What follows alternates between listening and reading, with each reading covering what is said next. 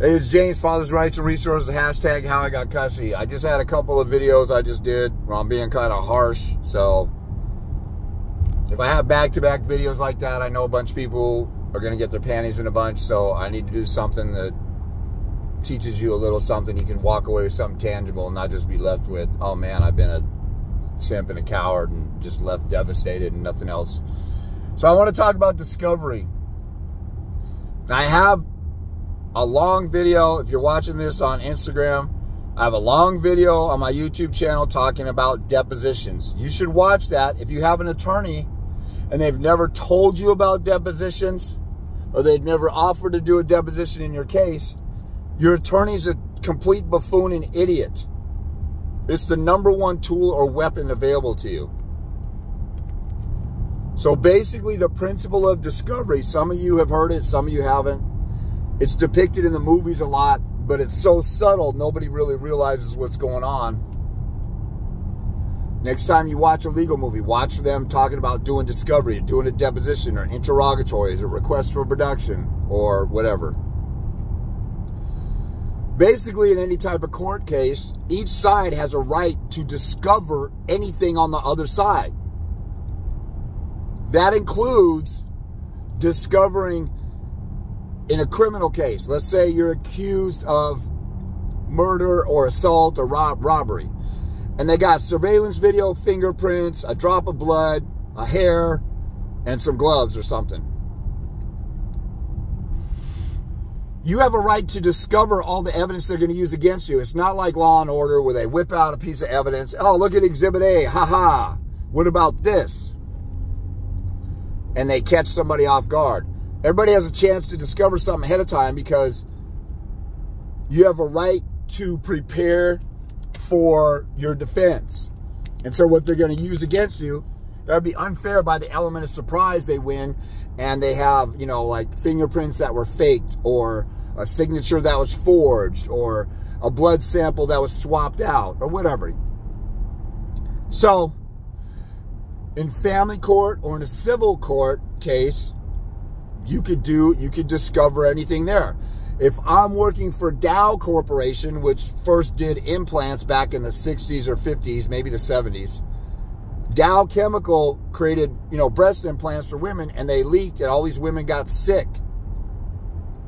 I remember reading a book about it. I can't remember the book I read. But one lady got implants and she was going to her doctor. This is how stupid the medical industry is. The doctor knew she had implants and she's getting sick and her immune system is shutting down. She's having all these problems. And he goes through tests with her and examinations with her. And he doesn't even think, oh, I wonder if the foreign object in your body is bringing something into your body that's harming your body. Your body's dealing with it or rejecting it. Stupid, dumbass doctors. So, if she sues Dow Chemical, she can do discovery on the offensive side where she finds out all the ingredients that are in and and all the processing creating implants and stuff like that. And she could discover everything on their side. Uh, the Erin Brockovich movie with um, Julia Roberts she played a real life woman who was a legal secretary or paralegal for a law firm, and they're suing a plant or a corporation that's dumping poison in the water. All these residents in the, in, um, I can't remember was this Bakersfield or Barstow or some city in the San Bernardino County area in California, they were all getting poisoned. Everybody's getting cancer. And they realized they were dumping chemicals in the water and it was getting in the water supply. So they could get, or um, they could get, I think that was the same theme in the movie as Civil Action with John Travolta based on a novel.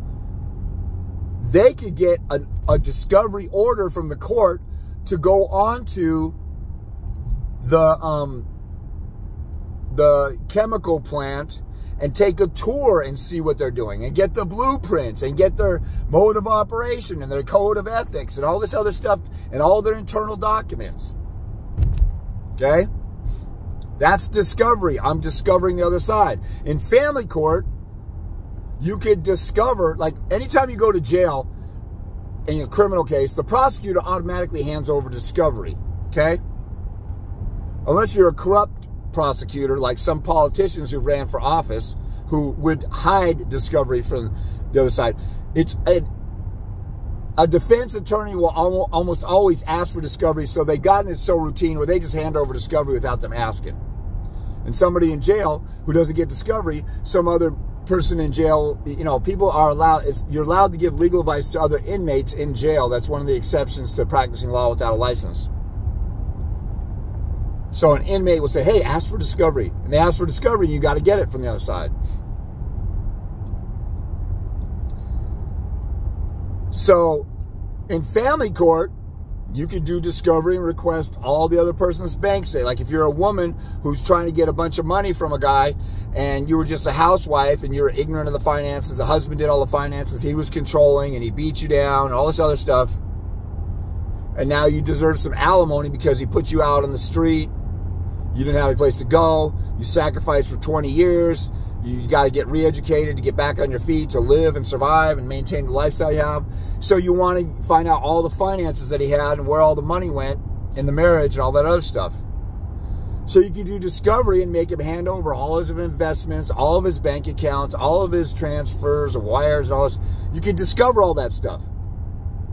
But you can also do discovery by asking what is going to be the testimony, or you can you can ask questions like, who are you going to have testify at trial when it comes down to doing a trial? You could preemptively find out what's going on way ahead of time. Then you could just ask any question that you might ask at trial. What's your what's your proposed parenting plan? Why do you think like if I'm representing a father and I'm an attorney, I might send over a questionnaire that says, what do you think? What's the problems with the father that you have? Do you think kids need both parents in their lives? Do you think both parents are equally important? Do you think that um,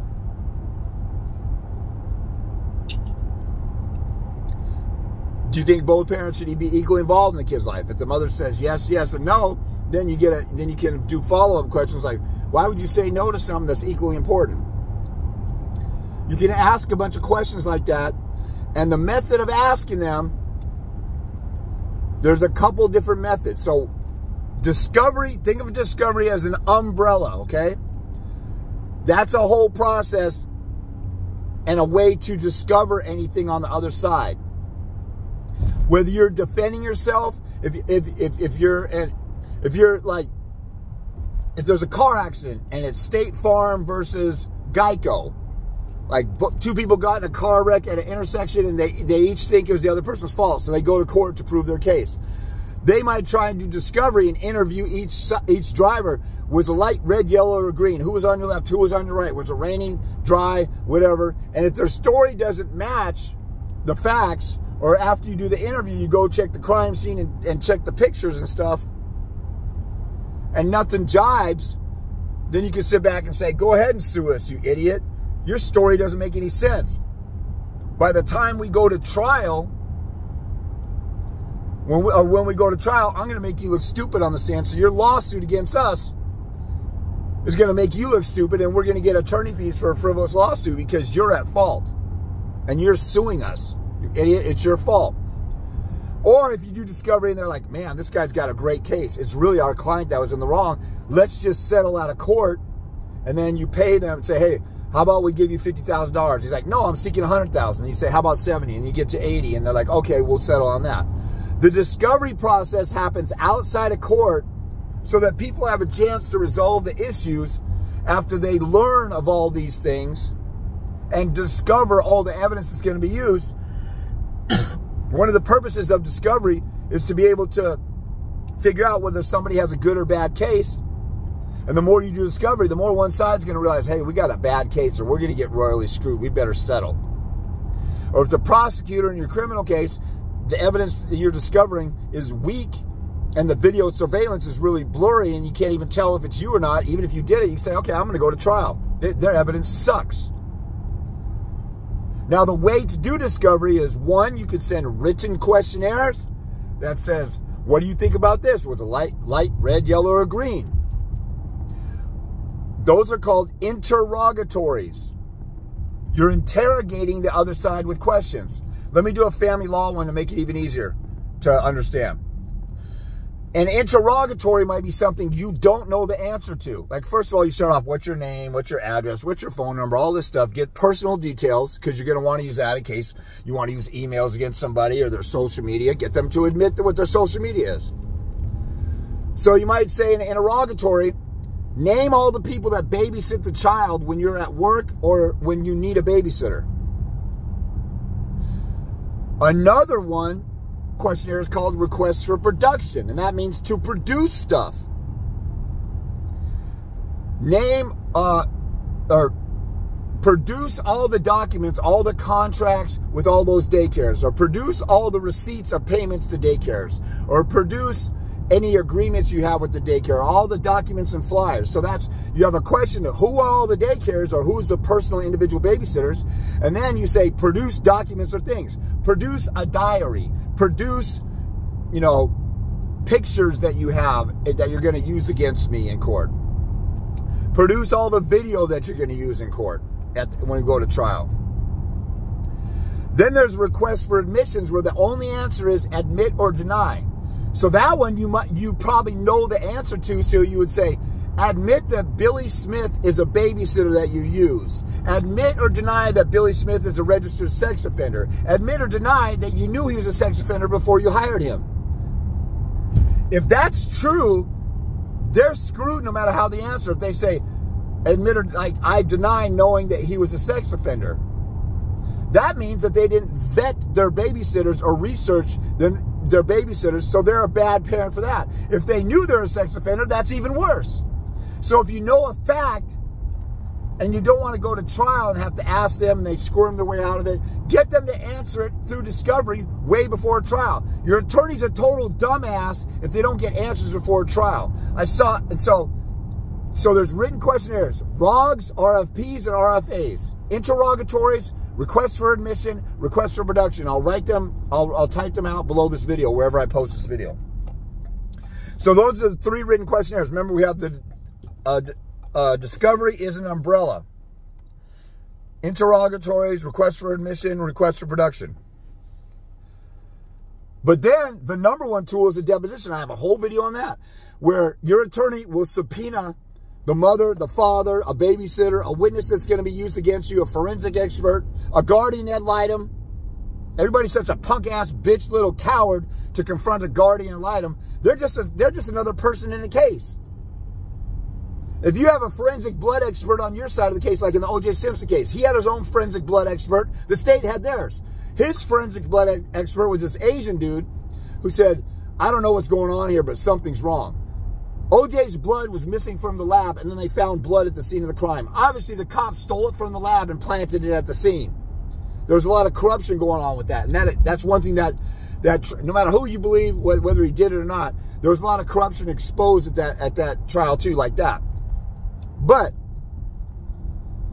if you do a deposition and you ask the expert witness, you, a deposition is, I'm an attorney. I subpoena the mother to the to my office and say, you come to my office and you sit there until I'm done with you. And then a court reporter puts her under oath and then types away and records everything she says. And I grill the crap out of her. Why don't you want the father to have a relationship with the kids? I do, I do. Well, why'd you withhold the children from him for four weeks? Do you think children need both parents? Do you think they're both equally important? Why did you have you seen the statistics on absent fathers and how that destroys kids? Why would you want to do that to your kids? I saw one stupid, dumbass, moronic, airheaded, dumbed down, brainless zombie of a sheep attorney who should be disbarred.